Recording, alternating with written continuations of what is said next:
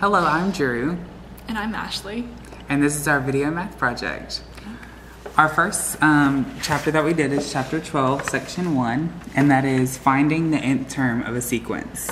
And then some definitions we have for you are is a sequence, which is an ordered set of numbers. And the term of a sequence is each number in the sequence. An infinite sequence continues without end, such as natural numbers. An finite sequence has a limited number of terms, such as 1, 2, 3, and 4. Okay, and so there are two types that we are going to show you how to do, and they are recursive and explicit, And recursive is each term found by using previous terms. which is the one we're going to show you first. But before we do that, you must know some of the terms. Um, and the first term is a sub 1, that's the first term of each sequence. A sub n is the nth term. And a sub n minus 1 is the previous term. For the example, given a1 equals 7, here is the uh, uh, problem. a sub n equals a sub n minus 1 minus 5. First, we have to find the first five terms of each sequence. So we know the first term, which is 7. A1 equals 7. To find a2, you have to do 7 minus 5, which equals 2. because the a sub n1 right here is the previous term. To find a sub 3, you do 2 minus 5, which is negative 3. A sub 4, you do negative 3 minus 5, which is negative 8. And a sub 5, you do negative 8 minus 5, which is negative 13. Now we have the first five terms of each sequence. The other way of finding a sequence is explicit, which is each term depends only on the number of the term, which is n. Uh, a sub n equals 2 To the n. to the n minus 1 Power. power plus 10. I don't know if it's on So we're going to show you how to do this. And Drew's going to write this out. I'm going to explain it. So Again, find the we're finding the first one. find the first five terms in a sequence.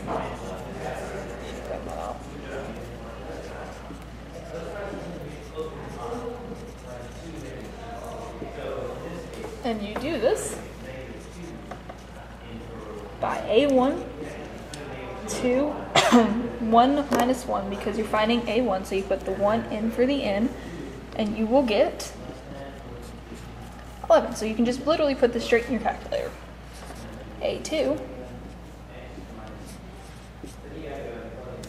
Then you put 2 in for n minus 1 plus 10 equals 12.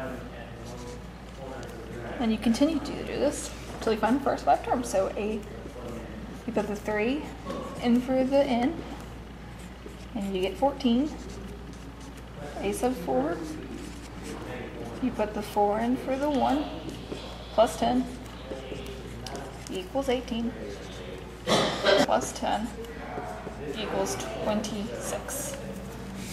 and that is an example of explicit, which is another way of finding a sequence. And this, and so the recursive relies on the previous term. And explicit depends only on the on a number of the term. And that is how you do explicit, Explicit and recursive. and recursive. So again, explicit is just each term depends only on the number of term, the term in. And recursive is each term found by using previous terms. And both of these are ways um, to find numbers in a sequence. Our next section that we did was chapter 12, section 4.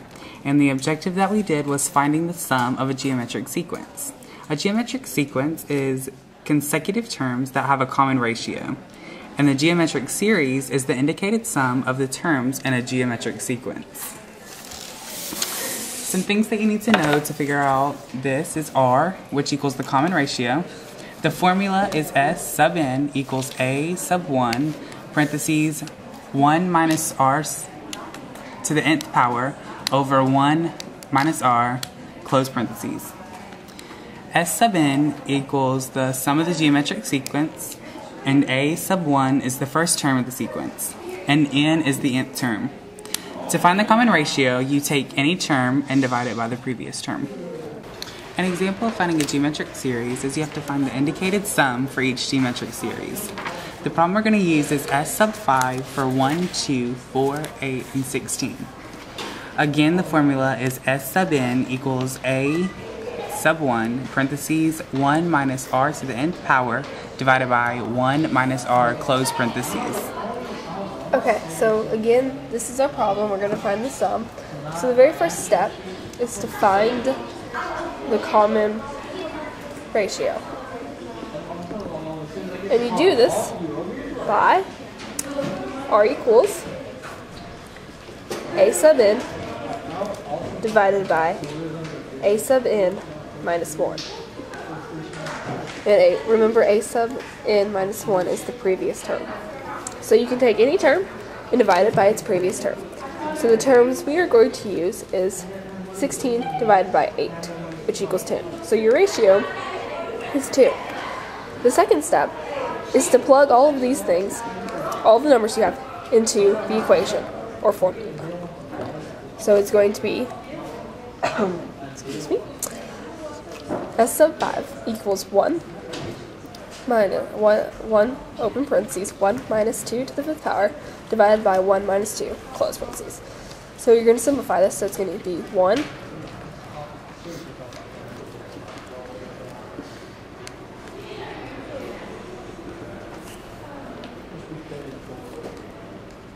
minus 2 to the fifth, which is 32, minus divided by negative 1.